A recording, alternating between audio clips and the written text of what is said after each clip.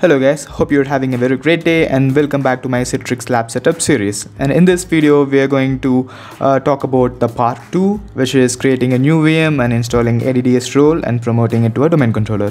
Uh, just for the recap, in the uh, previous uh, video, which is part 1, what we did is completing the prerequisite on Hyper-V, which is creating a virtual switch for our Citrix Lab. So uh, let's get started. So the first thing we are going to do is downloading the ISO or VHD file for Windows Server 2019 evaluation version. So I'm opening my browser and all you have to do is just search for oops download uh, just search for download Windows Server 2019 and click on the first link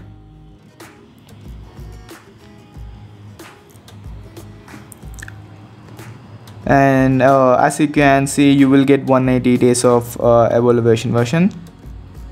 So uh, I'm going to download VHD uh, even though it's gonna uh, have a big size uh, comparing to ISO but still it will save us a lot of time while installing the OS so I'm just gonna click on continue and uh, you will be asked to uh, mention or you know fill out all this information and click on continue. Then you will be able to download the VHD file. And uh, for your information I have already uh, downloaded it. So I have downloaded both the ISO uh, as well as uh, VHD file. The only main difference between them are like you know if you take ISO and it will be like 5 gigs. And when you're uh, you know creating or installing the OS uh, it will take a lot more time uh, for ISO because you have to uh, go through some configurations and which is not much needed for the uh, VHD file because those will be uh, already pre-configured. And this is a, data center evaluation version. So the next thing will be creating the our new VM that's gonna be our domain controller. So on the right hand side the action panel click on new and virtual machine and give it a name as DC and click next. It's gonna be generation 1 and I'm giving 2 gigs of RAM. So that's gonna be 2048 MB and I'm gonna uncheck uh, use dynamic memory because I'm going to allocate the complete 2 gigs for uh, my DC so click next. And uh, in the networking uh, select the switch that we have created in the uh, previous video which is Lab and click next. So here uh, I'm not going to create a new virtual hard disk because we already downloaded it. So click here and browse and go to just never mind about this. So I'm going to use this one uh, which we have downloaded. Open. And next. And finish. And before turning on the uh, VM uh, there are a couple of things we have to do so one is giving uh, two vCPU uh, even though one CPU is uh, good enough but still for the better performance I'm just giving it two. And uh, I will be disabling the checkbox. This is kind of a snapshot that we don't need. Uh, the main thing which uh, you know checkpoints is whenever you're switching it on switching it off it will be syncing every time and it will take some more time which is not necessary for us. So apply. Okay then right click connect. Click on start. Okay.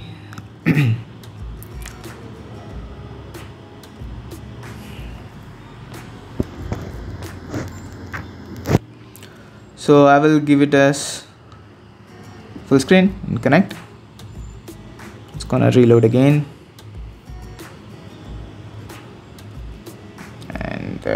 we go.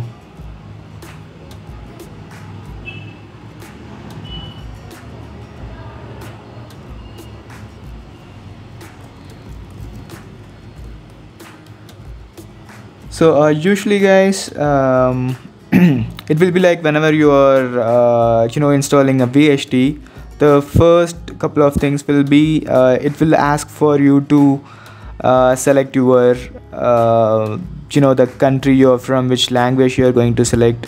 And then it will ask you to create a new password for administrator.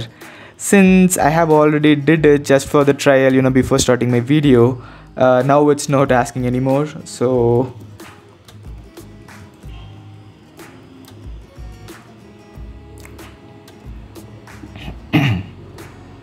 okay so we are in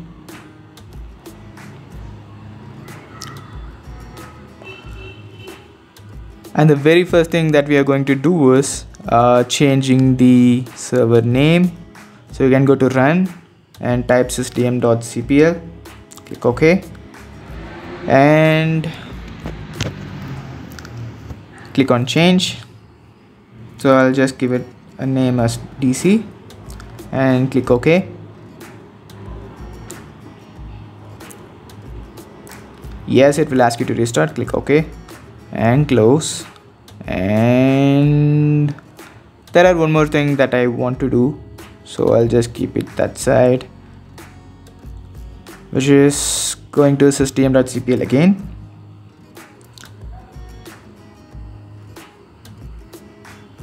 Later.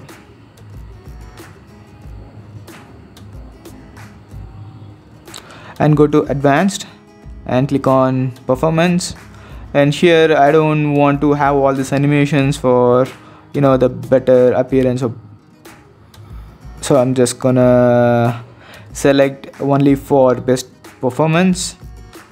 And then I will be selecting only smooth edges of screen fonts. Apply. Okay. Okay. So now I'm going to ncpa.cpl and we might need to give a static IP address. So I'm not going to use IPv6 so uncheck that. IPv4 use the following IP so I'm gonna give 192.168.11 and default gateway is going to be 192.168.10.1 click ok. Click ok. And close. So now we are good to restart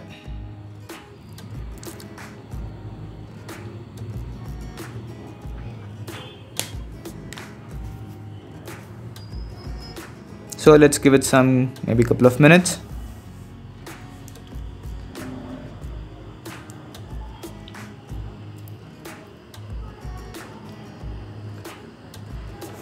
Okay it's restarted. Welcome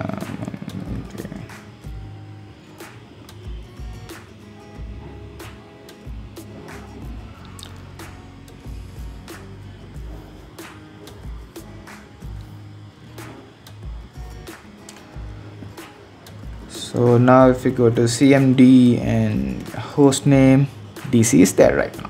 Okay. So the next thing will be uh, installing the adds role. So just add roles and features. Skip this page by default click next and click next and next. And here select active directory domain services add features. And hmm, that's all for now. Click next. And click next. Next. Restart the destination server automatically if required. Yes. And install. So it may take uh, maybe a couple of minutes or two to three minutes more.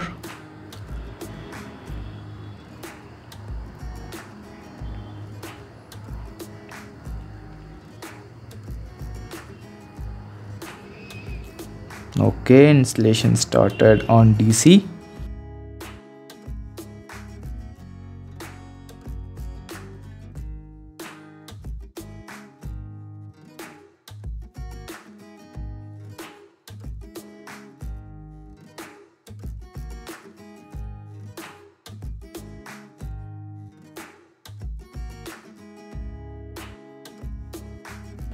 okay now the installation is succeeded. Click on close.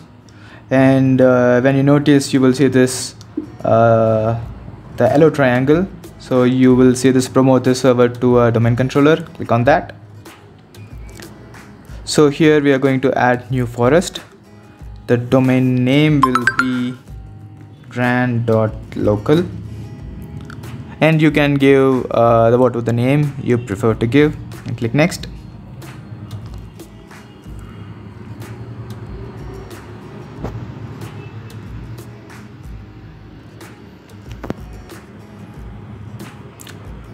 and give the DSRM password.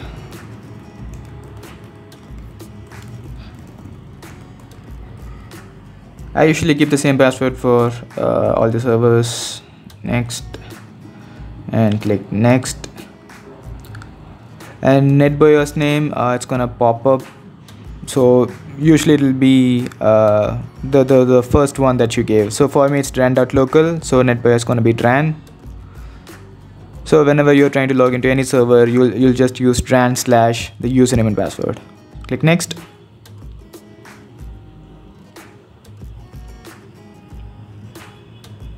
And let it be default. Click next.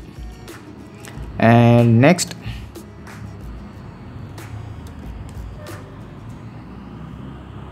Okay let's see what it is. Maybe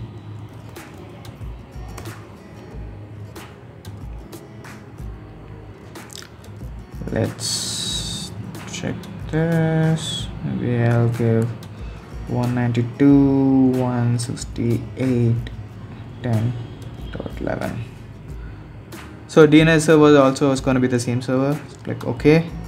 Click OK. Close. Uh, let's try again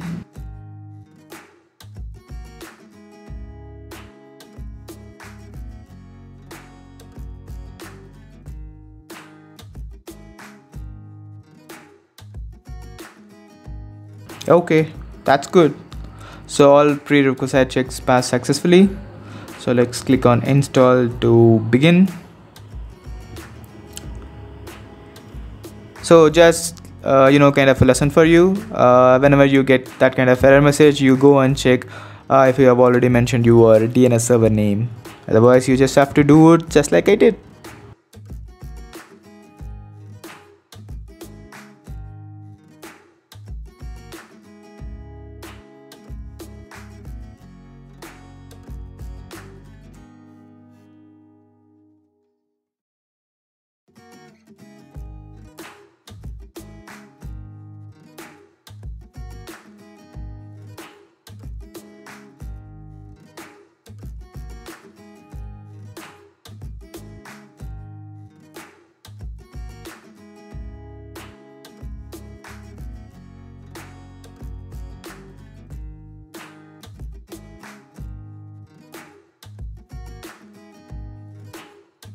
okay that was completed. And you can see this server was successfully configured as a domain controller. That's a good news. And click on close. And the server will be rebooted. Close. Yep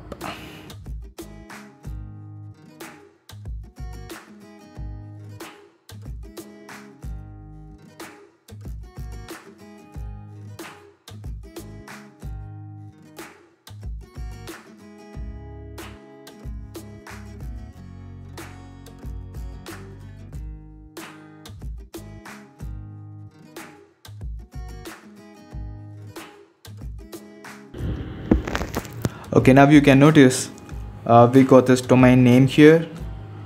I'm going to still use administrator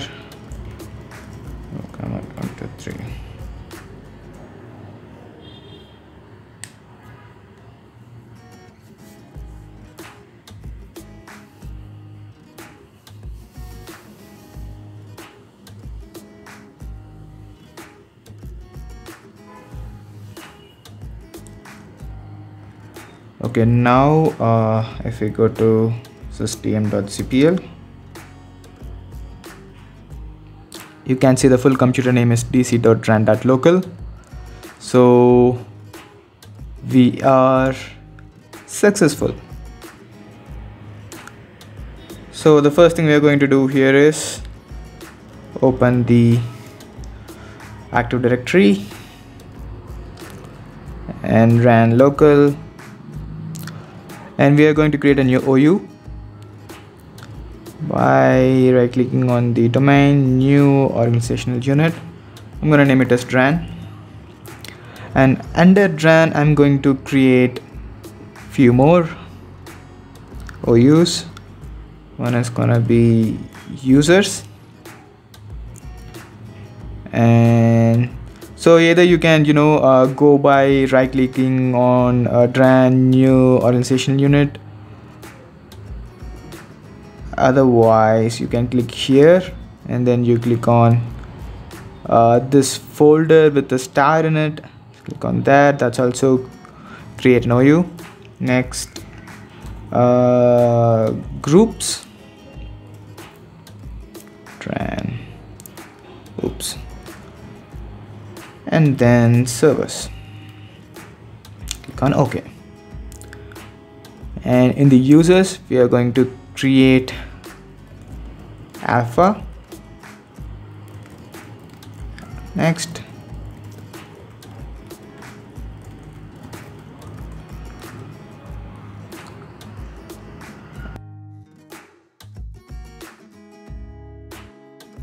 Next. Finish uh, we are done with the part 2